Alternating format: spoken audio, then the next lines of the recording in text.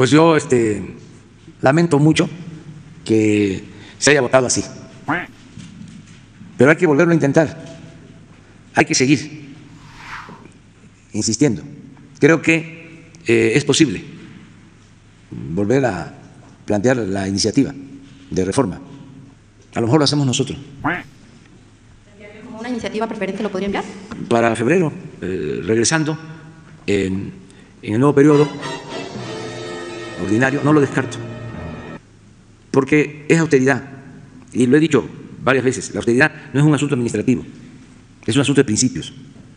No puede haber gobierno rico con pueblo pobre. No pueden haber partidos ricos con votantes pobres, con ciudadanos pobres.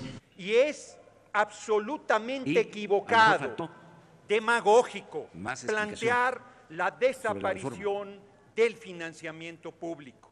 Y a veces, porque hay la inercia, toman las decisiones arriba los dirigentes y algunos legisladores no se enteran bien y Se requiere de recursos económicos y es absolutamente irresponsable decir que podemos renunciar al financiamiento público.